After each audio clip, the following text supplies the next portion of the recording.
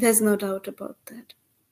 So the pure devotees, the eternally liberated, the Nitya Siddhas, they are always swimming in the ecstatic ocean of bliss of service to Krishna.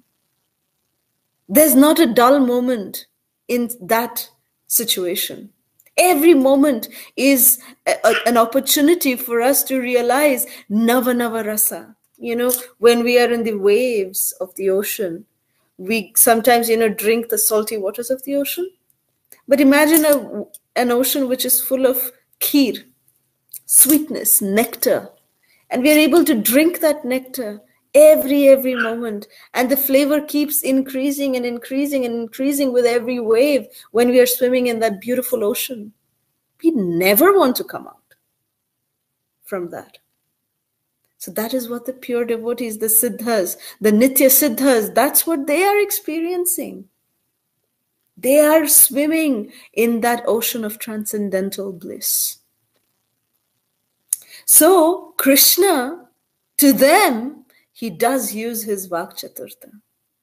He does use his beautiful vachana, his beautiful sweet words, his mesmerizing words.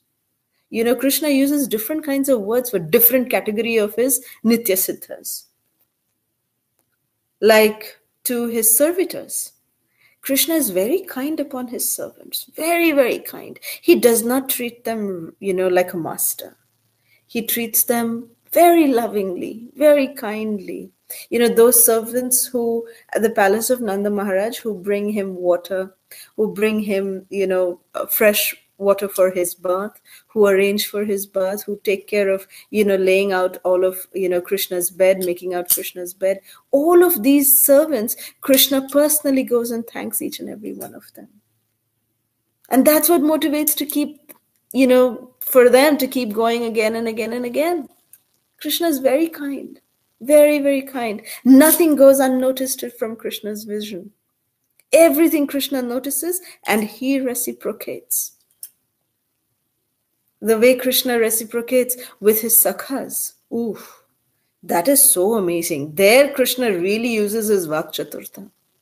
One time, the Gopas told Krishna, Krishna, you cheat us so much. Every day you cheat us. And Krishna said, Really? He made puppy eyes to, you know, Sridham, Sudam, Madhu Mangal. He said, Really? No, I don't do that. I never cheat. I am a very, very obedient son of Maharaj Nanda. I never cheat in games. What are you talking about? And then Sridham, Sudam, and Madhumangal, they're thinking, yeah, Krishna would never do that. Although every single day, every single game that Krishna plays, he always cheats. But because as soon as Krishna makes these beautiful puppy eyes and he, you know, these beautiful sweet words come out of his mouth, the friends are confused. He said, Yeah, yeah. We are only wrongly accusing you, Krishna. Okay, okay, come. You don't cheat. You we accept that you don't cheat. No, no, you are not a cheater. You come, let's play now. Let's play. Okay, so we'll play now, and whoever is the loser will carry the other party on their shoulder. Deal? Krishna says, Yeah, yeah, deal, deal, deal. Come, let's go play. So then Krishna starts playing, and then of course he cheats. And then by his cheating, also he still loses. And when he loses, then Sridham, Sudam, Madhumangal, all the boys, they're all laughing and jumping in ecstasy. Oh, today Krishna is going to carry us on his shoulder. And then Krishna says, You know what? While playing, I just hurt my knee so badly. And I'm look, I'm limping. I'm not able to walk. How will I carry you on my shoulder? Can you please carry me?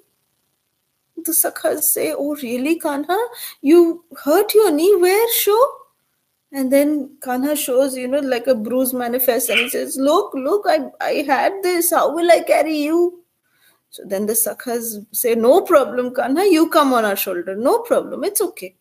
So then they start carrying Krishna on his on their shoulder and they are taking him, taking him, and then Krishna suddenly forgot about all his, you know, the bruises and everything, and then he suddenly started interacting with the monkeys. Dadhiloba and everyone, they were laughing and they were, you know, they were seeing all this, witnessing all this fun activities, and they were all laughing. And then the Sakhas realized that, hey, what's wrong with Krishna? Why is he not any longer in pain? And then the Sakhas realized, hey, that bruise, which was manifest so badly, it suddenly disappeared.